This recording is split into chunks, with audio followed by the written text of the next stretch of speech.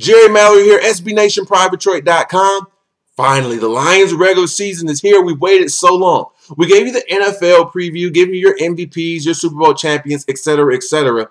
But our heart and soul lies with the Honolulu Blue and Silver. That's why you go to Pride of Detroit, because we love our Lions. So it's time to take a look at their season, and then we'll wrap up this video previewing their Game 1 matchup against the Minnesota Vikings. Now, if I had to sum up this season in three words, in terms of my expectations, it would be this. Prove me wrong. That's right.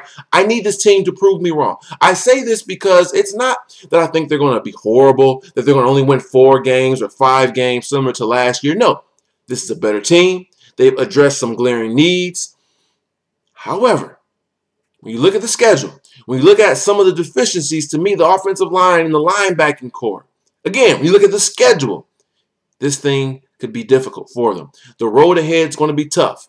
I might even go so far as to say this team might be more talented on paper than the team that won 10 games in 2011. That does not mean I think they're going to win 10 games this year, though. I'll give you a scary statistic. The last two years, the Lions, against teams that ended up the season over 500, they won one game the last two years. That's, that's right. They went 1 in 13 against teams that were over 500 at the end of the year. Simply put, they beat the teams that they're supposed to, but the better teams, those that win 9, 10, or more games, they have not found the victory that often. Only one time. So, looking at this year's schedule, we know things can change. Teams that are good one year could be bad the next. But just looking at this schedule, we're slated to face 10 teams that in 2012 were over 500. Again, 1 in 13 against plus 500 teams the last two years. Potentially 10 teams that the previous year were over 500 more than likely will be at or around 500 this year. You add two more teams, the Cowboys and the Steelers, who were 8 and 8. They were at 500. So 12 out of the 16 games this year will be against teams that the previous year were 8 and 8 or better. That's why I'm saying this. Prove me wrong. Let's take a quick look at some of our predictions. We'll talk about the offense, defense, special teams. Then we'll come back and preview game one. Spotlighting the offense, we have to look at Matt Stafford first. He's our quarterback, the franchise.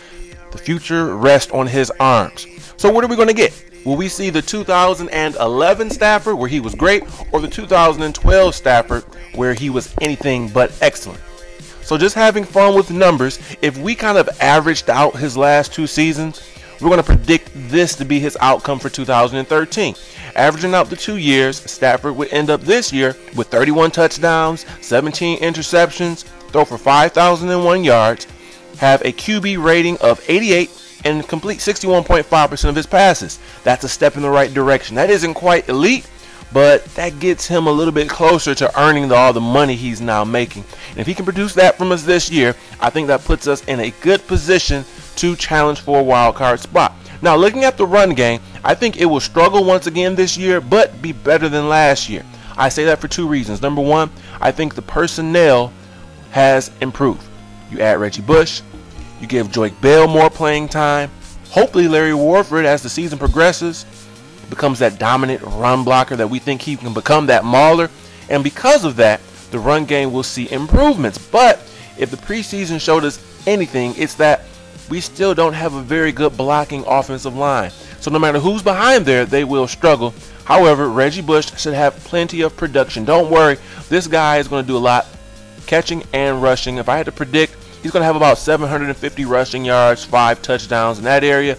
But his key is going to be in receiving. Ton of balls will be thrown his way. He'll probably haul in 70 to 75 catches for 700 plus yards and four touchdowns. And I think Joique Bell will add 450 to 500 rushing yards himself. Calvin is Calvin. He's going to be dominant. He's in his prime. He's the best. Only thing that can stop him is an injury. We don't want to see that happen. And, you know, Calvin's going to be the best. He's the best in the game at wide receiver. And he should be just as good. Potentially not seeing as many double teams because Reggie Bush is there.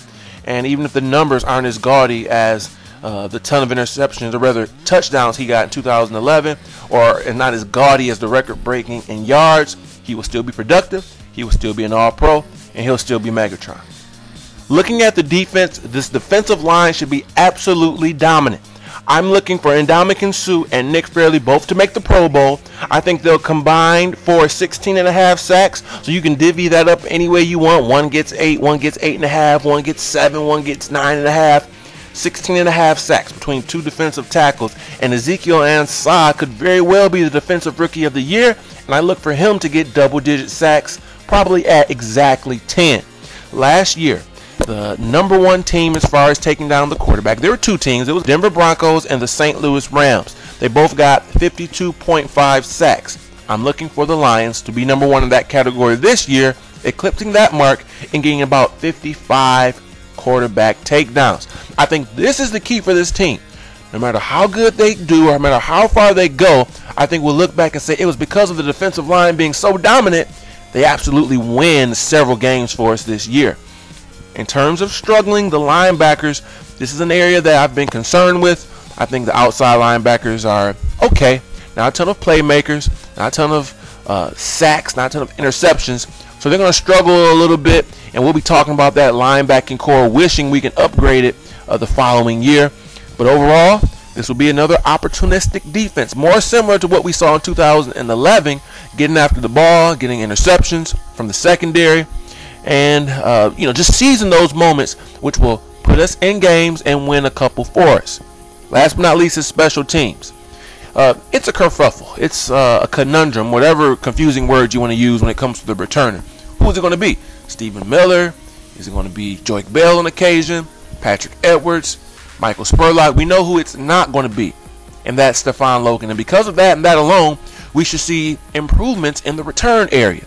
But the biggest issue with this team and the special teams was really their coverage units. Awful. New coach, the Boomerang Bonamego man is coming in, shoring them up. If Montell Owens can get back, you know, we have the usual suspects as well. John Wendling. Will Ashlee Palmer still play a big role in special teams now that he's possibly starting? It's a possibility he does both. Overall, the coverage unit has to be better. It lost us two games last year against Minnesota, last year against the Tennessee Titans. We probably win those two games if it was not for the return touchdowns that we gave up. So when we shore up that area, that should help us. Maybe it won't win us a ton of games, but we don't hope it loses us any games this year. In terms of kicking, Sam Martin is a legit punter. We've had no names. We've had journeyman guys that come in and just not help us with field position at all. He should help. And then David Akers is here. He has the experience. And a lot of days we're going to look at him and say we can't tell the difference between him and Jason Hanson. So that's always a plus when we can compare any player to someone that may be a Hall of Famer at the kicker position. It all hinges on Akers being healthy. That was his excuse for being inaccurate. So we'll see what happens this year. But overall, the special teams should experience a vast improvement in all facets of that side of the ball. When it's all said and done, I'm not going to go game by game. I think this team will end up 8 and 8. I know that's boring. 8 wins, 8 losses. What does that mean for Jim Schwartz? Does he keep his job? Martin Mayhew. Uh, will we have definitive answers about Stafford? I don't have all the answers. I don't have any answers. But in my opinion, and even to go 8 and 8, they're going to have to beat some good teams this year. I think they will. They've improved in a lot of areas. I think the addition of Reggie Bush should not be overlooked. This team with Jahvid Best gave an element to this offense that we have not seen since Jahvid left with the concussions. We were 5 0 before he got hurt. And since then, we've lost. And we've, you know, we made the playoffs that year, but the offense has not clicked. Reggie Bush brings us that element. The maturation of the defensive line, adding Ezekiel Ansah, Jason Jones, uh, Willie Young. This team, to me, will beat some of those 500 plus teams this year. So that's why I'm saying 8 and 8 just on the outside looking in, not quite making the playoffs. Now, again, if they prove me wrong, I'll be elated. Go ahead, win 10 games, win the division. Nothing would surprise me. I would be shocked if we won four games again or five, but I can see anywhere from seven to 10 wins. I'm saying they're going to go eight and eight. Uh, a lot of turmoil, a lot of change on the roster. Some of those practice squad guys may find their way up uh, and, and make an impact. There are going to be injuries. So uh, at the end of the day, I think they'll win eight and they'll lose eight. Now, talking about game one, this is one of the must wins in my opinion. They're over 500, but when you're at home, you should have a good chance at beating this division rival in the Minnesota Vikings. That following week against Arizona, these are the type of games they're going to have to win. If they don't, you forget you can forget about even winning eight games. Now, uh, from the injury standpoint, Ezekiel Ansah fully practiced. He's going to play. On the other end, Kevin Williams, the all-pro defensive tackle for the Vikings, is not going to play. Favor for the Lions. In terms of some matchups, I'm not going deep against the Minnesota Vikings. I really love Harrison Smith. He has size. He's very good at coverage.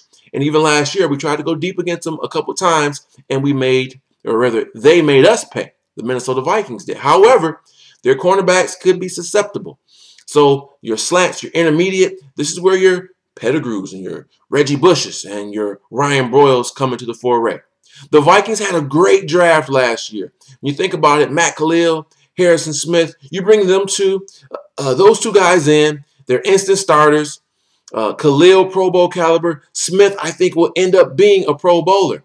Last year with us, our top picks, Broyles and Reiff, well, they're starters now, but not quite the success that the Vikings had. This year, they had three first round picks. They used them on some pretty big names Xavier Rhodes, Cordarrelle Patterson, and Sharrif Floyd. Sharrif's going to step right in, playing with Kevin Williams, but now playing in place of him because of the injury.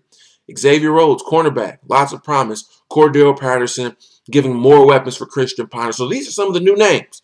But we know when you're facing Minnesota who you have to worry about. On defense, it's Jared Allen. We hate him. He has uh, all these negative things to say about Detroit. He's brash, but he can play. He can get after your quarterback. Riley Reiff, your work's cut out for you. And on offense, obviously, it's Adrian Peterson. A-D-A-P all day. He'll break one open. Remember last year, we held him, we contained him, we contained him, and then he broke one free. It's a team effort. Linebackers, defensive backs, obviously the front four is going to have to try to contain him as much as possible, but I think it can be done. This is one of the games I'm predicting us to win. Detroit Lions 24, Minnesota Vikings 20. It'll be a close game, but I'm thinking we're going to win this one in front of the home crowd. And I'm just wait. We've been worrying about this offense. The Stafford, I think things are going to start to click. Ryan Broyles is going to look good. Stafford's going to look more accurate. And hope is going to spring eternal, at least for week one. Enjoy it, guys. We've been waiting for this. We're huge Lions fans. I'll be sitting in front of my couch enjoying every single minute of all the action. It's time to party. I want to thank each and every one of you for watching. We're going to be out of here. Until next time, we'll be talking about the game as a whole. And I talked about a surprise, a little announcement. We're going to be bringing back the Pride Detroit podcast. Some of you are familiar with this. This gives us more of an opportunity to talk at length, 20, 30 minutes, breaking down games, breaking down all the little details and the intricacies that makes us hardcore Lions fans. Just wait. It's coming soon. Pride Detroit pod, Pride of Detroit, excuse me, podcast is back. All right, guys, that's it. I want to thank each and every one of you for watching. Until next time, when we'll be hopefully talking about Lions win. This has been Jerry Mallory for SB Nation and PrideDetroit.com.